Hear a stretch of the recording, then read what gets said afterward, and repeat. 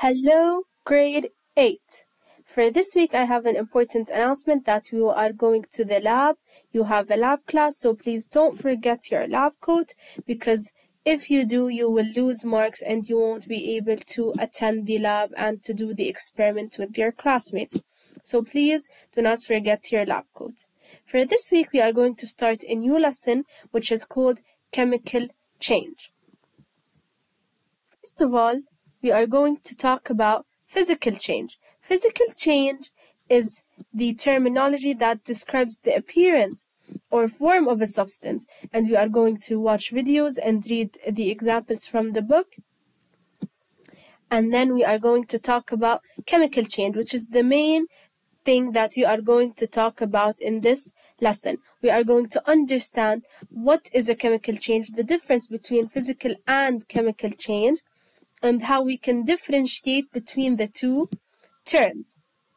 And then we are going to talk about the chemical bonds that form between two atoms and the reaction that happens uh, between these two atoms and what uh, part of chemical change are we going to discuss in this bond.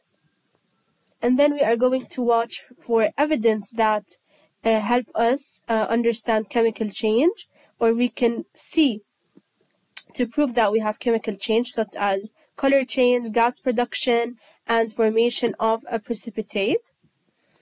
And then we're going to understand the changes of energy and how does the flow of energy give us two different reactions.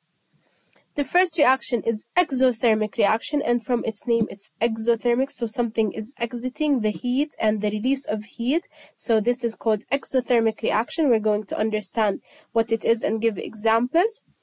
And the second type of reaction is the endothermic reaction. These types of reactions they take or absorb in heat. And then we're going to talk about uh, their examples and then we're going to look at energy graphs for both reactions, the exothermic and the endothermic graph.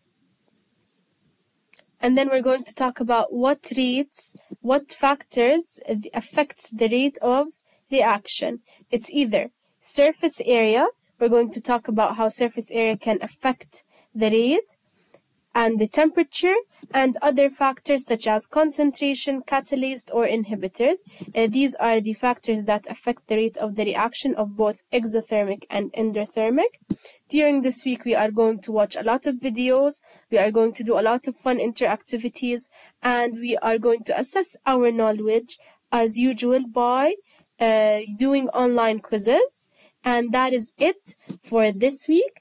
I hope that this week will bring you knowledge and new ideas. If you ever need any help, uh, you know where to find me. Thank you so much, 8th grade.